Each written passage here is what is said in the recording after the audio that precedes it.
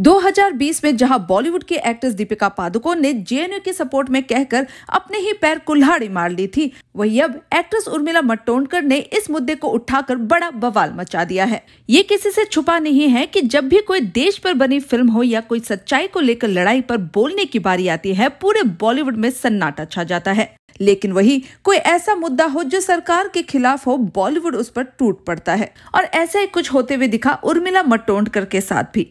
दरअसल जेएनयू में छात्र संगठन आयसा और एबीपी ने एक दूसरे पर मारपीट के आरोप लगाए और अब ये आरोप बड़े बवाल में तब्दील हो चुका है। वामपंथी छात्र संगठनों ने आरोप लगाया कि एबीपी के कार्यकर्ताओं ने यूनिवर्सिटी के कावेरी हॉस्टल में नॉनवेज खाने का विरोध किया। तो वही एबीपी का आरोप है कि उनके कार्यकर्ताओं ने उनके साथ मारपीट रामनवमी पूजा को लेकर किया और इसी को लेकर अब एक्ट्रेस उर्मिला मटोनकर ने मोदी सरकार और हिंदू रिलीजन को लेकर ही कटाक्ष मार दिया है। उर्मिला मटोनकर ने ट्वीट कर कहा कि अच्छा ही है कि देश की युवा कौन क्या खाए, क्या पहने, इन मुद्दों पर मारपीट और दंगों में व्यस्त रहे। बेकाबू, बेरोजगारी, भयानक महँगाई और अल्पसंख्यकों पर के अत्याचार, इनसे उन्हें क्या लेना देना?